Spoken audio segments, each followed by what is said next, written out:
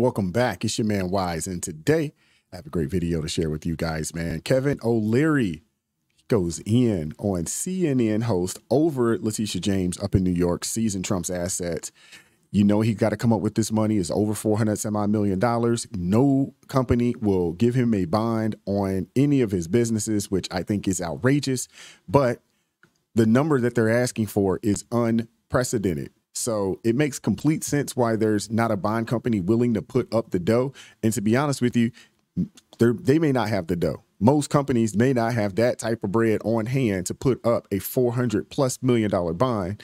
Or if they do, it would probably suck up majority of their resources. Before we get into the video, like, share, subscribe to the channel. Drop me a comment down below. I appreciate all the love and support. And before we get going, we must have a word from our sponsor, Child Light Candles.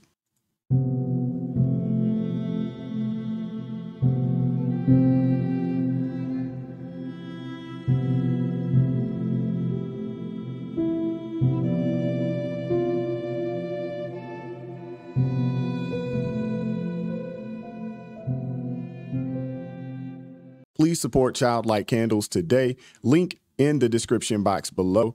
Child Light Candles is a veteran owned organization. The candles are amazing. The candles smell great. They are 16 ounce candles. I don't know if they are listed in that way on the on the website, but they are all 16 ounce candles, 100% organic soy to include the wick and the substance within the candle or the wax, the soy wax. And these candles are amazing. Childlight Candles. Get your candles today. Fragrances lit for the kingdom. Now let's get into the video. Um, you got a lot of money. You're a high net worth, net worth individual, and I wonder, give me a sneak peek inside of this world. I mean, why can't Trump secure a loan off of the value of his profits alone and properties alone? I don't think this case is about Trump anymore. I think this case is about New York. It's about the American brand. It's about what we promise the world in terms of fairness and justice and investing capital in a country that's built the largest economy on earth. Forfeiture, seizing of assets, is that in our nomenclature in America? Is that what we tell people that want to bring their money here and protect property rights? Forget about Trump. Nothing to do with Trump. You think this is good for business in New York? You think this is good for business in America? To take a law that we used to protect people against buying refrigerators at an overpriced value decades ago and apply it against an individual and then talk about seizing assets like he was in Venezuela hmm. or in Cuba. This is well, a very, very, very bad look for New York. And everybody around the world is watching this. This may be well, great for the Attorney General, but this is I not good you. for America.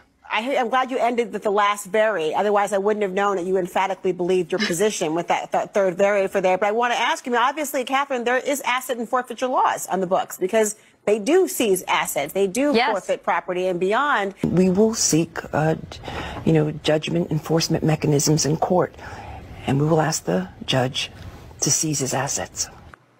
Now, you take, you know, an issue with this, of course, more broadly in terms of what it means to be in an American business structure, Kevin.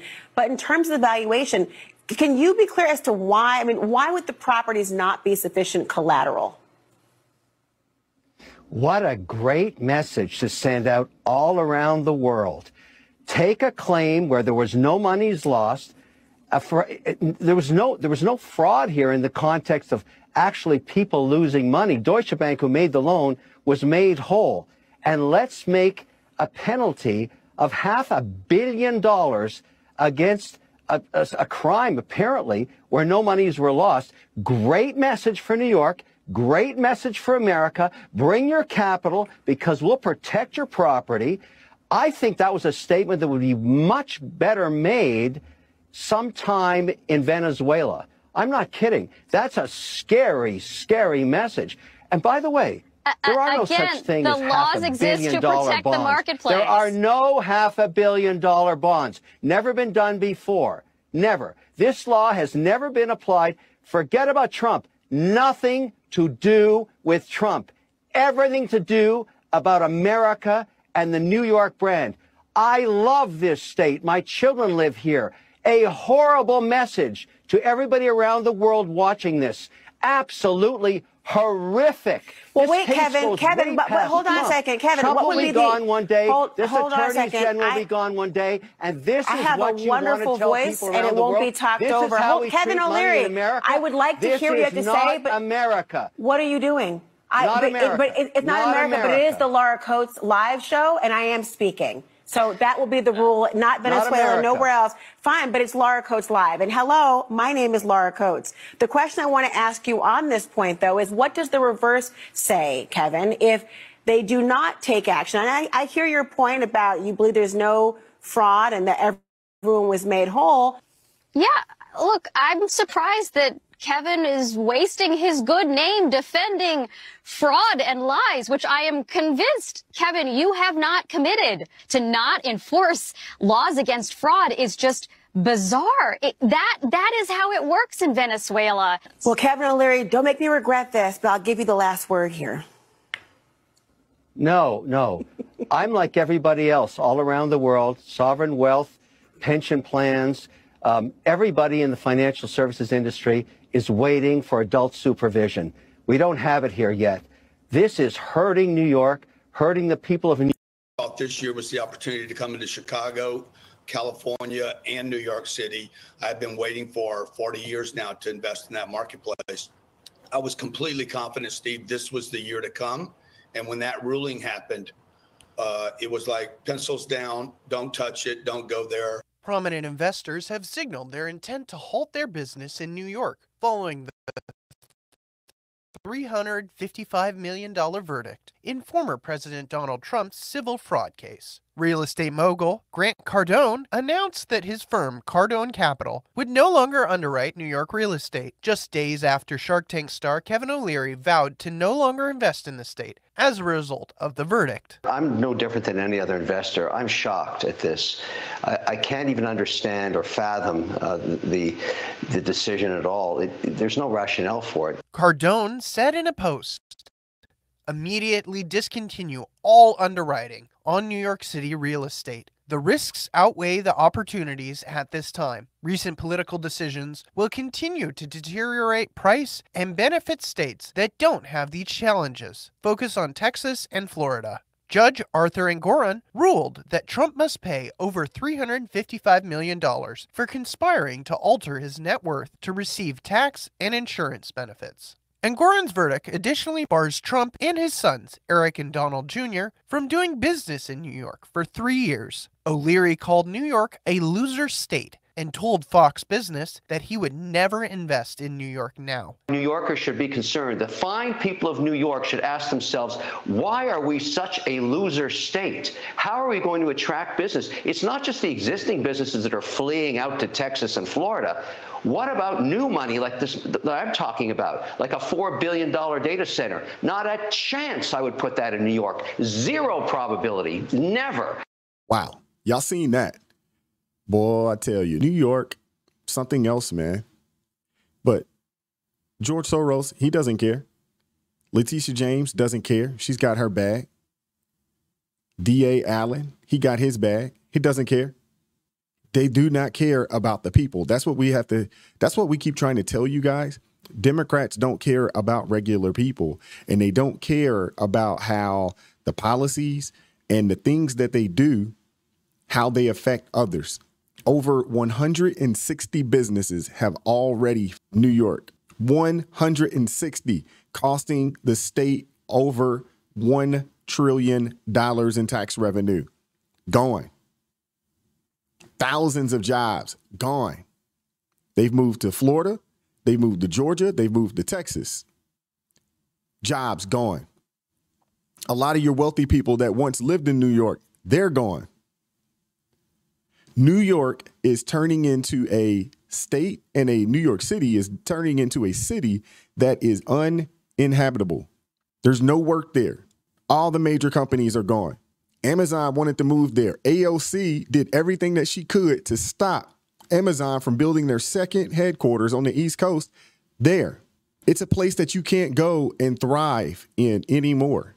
New York used to be the place where if you can make it there, you can make it anywhere. Now it's just escape from New York. If you are someone that wants something out of life, you need to get out of the city of New York. You probably need to get out the state because organizations are leaving by the boatload. Kevin O'Leary's 100% right. Why would anyone take the risk? Grant Cardone, he mentioned it as well. He's like, hey, the risk outweighs the reward.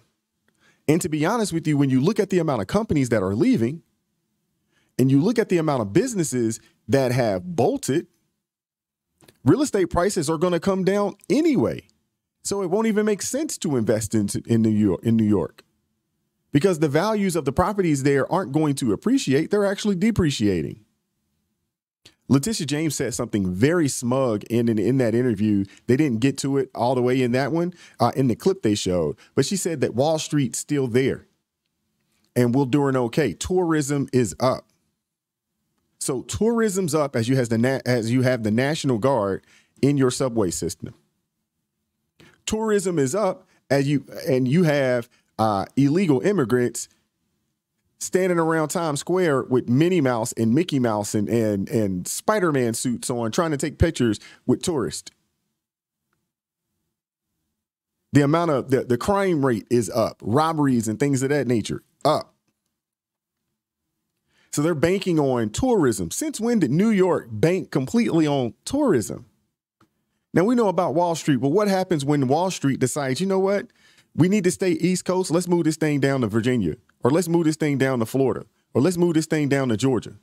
Or even better, let's move it down to South Carolina in a state where it's really cheap and the people could actually use what Wall Street has to offer. And they can invest that money there in a red state. What happens? What happens to New York then? They've gotten too big for their britches up there. Letitia James, Alvin Bragg, they are literally running the city into the ground along with the uh, the governor there, Holcomb. They're running the city in the city and the state into the ground. And you know what? Who cares? Good riddance. It's unfortunate that that is the case, but the people of New York, y'all voted for these people. Y'all put a Letitia James in office. Y'all put an Alvin Bragg in office. Y'all put this Holcomb lady in office in the governor's seat. DEI at its finest. And look at how it's working out. It's a daggone mess. Let me know what you guys think in the comment section. Like, share, subscribe to the channel. Drop me a comment down below. I appreciate all the lo- love and support. Keep God first in your life, America first, and I'm going to catch up with you all next time. Peace.